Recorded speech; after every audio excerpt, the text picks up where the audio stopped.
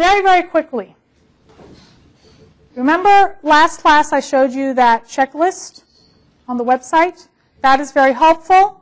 If you don't want to use something that detailed, here's something else that you can take a look at to give you an idea of the things you want to remember to do. So, before the test, make sure you greet your participant.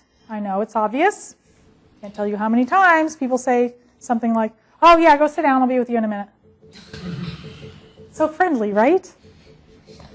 Yes, you want to, them to feel welcomed. Make sure they read and sign the consent form. Have them fill out your entrance questionnaire before you have them do the tasks so we can keep things consistent. Now, there are times where out in industry they will act, actually have people fill in their demographic information afterwards. That's fine also. You just want to make sure that you are consistent from your first participant to your last participant. Do it in the same order. Read the procedure script and give the participant the task list.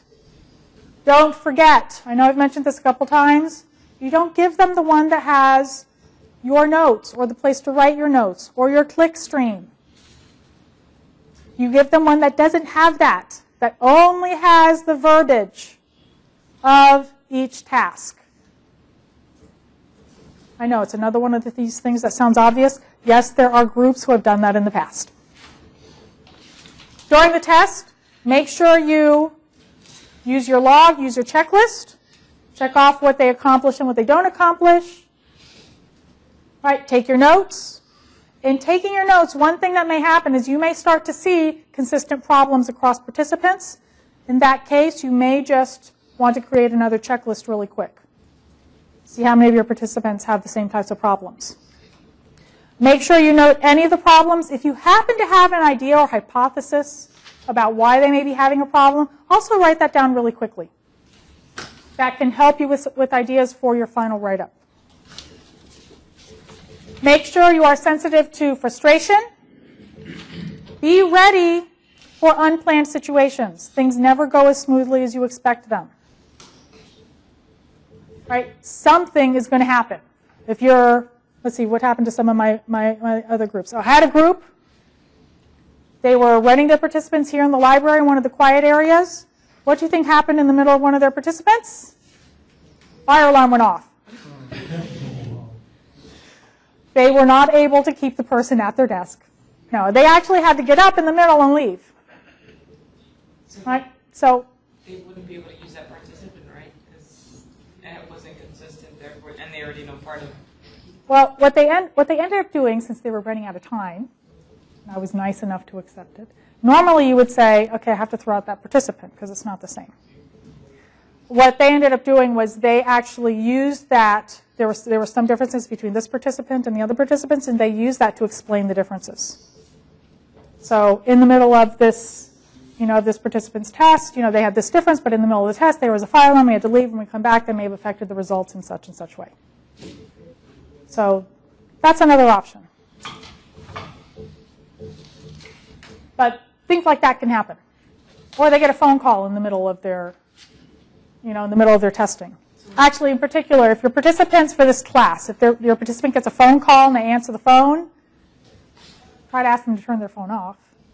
But instead of rerunning the participant, since we do have um, a limited schedule, just make sure you consider that in your write-up. All right, look and listen for the unexpected, avoid intervening unless necessary, and try using questions to redirect when they ask something as opposed to taking over and telling them how to do things. At the end, you want to debrief your participant. What you're doing is you are giving them their, their uh, questionnaire at the end of your session. You may, if you want, include a verbal interview where you ask them, you may want to ask some additional clarifying questions about something that occurred while they were performing the tasks. That's okay also. You can see it as an extension of your tasks. Make sure you thank your participant in a very nice way. We tend to forget that. You want to make sure that in between your participants, you have time to collect, summarize, and organize your test data. You don't want a big pile of papers and a mess after you have just run five participants, and then you don't know which notes go with, with which participant.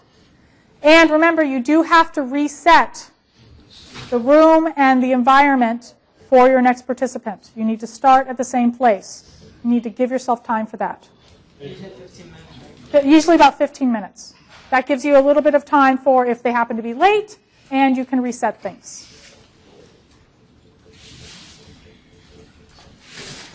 Now, one last thing before we go on to your forum. What we're doing in this class, because we're only running five participants, actually was considered more of um, the size of a pilot study. And so when you go on to industry, a lot of times what will happen is you'll design a study, you'll do a pilot study to see how it goes, which is basically a practice test. Right? You're going to use the same, the actual materials, the actual equipment, the actual facilities. Right? You're going to make sure that you are running it in the same way that you would run your participants. The focus of a pilot test, however, typically is to actually test out your materials and your environment to see if you have to refine them or make any changes. And after that is when you would conduct your final tests. We are not doing that. I'm assuming that you guys are so brilliant that your test that your test materials are already perfect. Don't assume that when you go to a job, though. All right. Any questions about running your participants? If your participant asks you how to complete a task, what do you do? No. You do not, yeah, you do not complete the task for them. You need to use a neutral prompt and say something like, what is the difficulty that you're, you know, you are having? What did you expect? You can tell them, well, I can't tell you how to do it because you're helping us test the product. Those sorts of things. Well, yes, Does the participant have to be a, a college student? no. As long as they meet whatever requirements there are for your particular type of user. It could be a sibling, you know, for all I know. It doesn't have to be a college, another college student. In fact, some, uh, some groups like to go and find a range of ages. The only thing is you do want them to be at least 18 years of age. So once you start dealing with, with essentially minors, usually you have to get the parents to sign a consent form too, and there's a whole other group of rules, so just make sure they're 18 or older. Okay, any other questions? So you guys are ready to schedule and run your participants? At least one group is, yes. All right. Uh, How do we know when the video is too long? Like, what's You mean your presentation video or your, our participant? Like, if they're taking too long, how do we know when it's? putting your, as you're putting your, ta- your task together and you're doing, putting together your click stream, estimate how long you think it will take them, and I would at least double it. And if it's more than that, that's too long. But also try to be, um, you know, do try to be reasonable in how long you think it'll take them. Because as you're, you, as you, you're doing your task, you're like, okay, you're click here, here, click here, click here, click here. Except you have to remember you have to give users time to look at the screen, figure out where to click, and where to go next. All right. Any other questions? That actually was a great question. Yes. Um, so we have to do five people at least, right? You have to run at least five people. And show how many? Two at least? Well, you have to record at least one. I actually recommend that you record more than one so that when you do your final presentation, you actually have more clips that you can pull from it to include in your presentation. Are we supposed to show uh, the ones who record uh, the whole thing, all the tasks, or Well, the one, the one that you required, we do have, you do have to show the, you do need to record the whole test. but show us show the whole thing? Oh, no, for your presentation, you do not have to show the whole thing. You're going to be giving me a link to the one where you, for the whole test. But for putting it into your presentation, what I really recommend is you just take clips.